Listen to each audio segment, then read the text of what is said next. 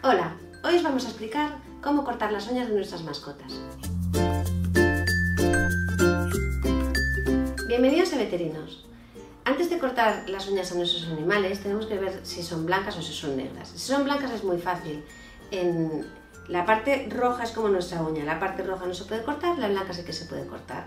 Si son negras tienes que adivinar un poco dónde sería lo que no tiene vaso o lo que tiene vaso. Lo que tiene vaso es lo rojo, lo que no tiene vaso es lo blanco, que es lo que sobra.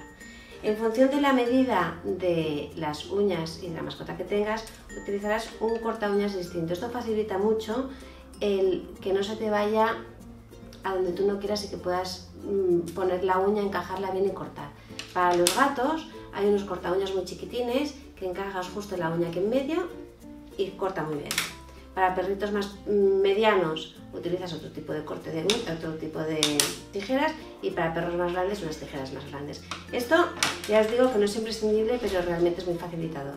Entonces, siempre tienes que tener en cuenta que puedes cortar toda la parte blanca sin que haya riesgo de que les hagas daño, ni que sangren, ni, mm, ni nada.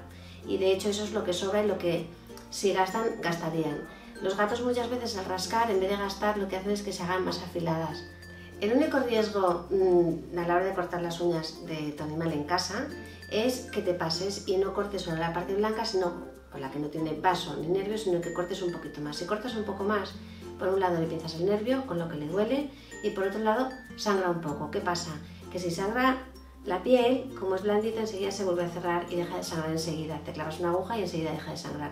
La uña, como es dura, tarda un poquito más en sangrar, pero no os preocupéis porque ni se pueden desangrar ni les puede pasar nada, simplemente están incómodos.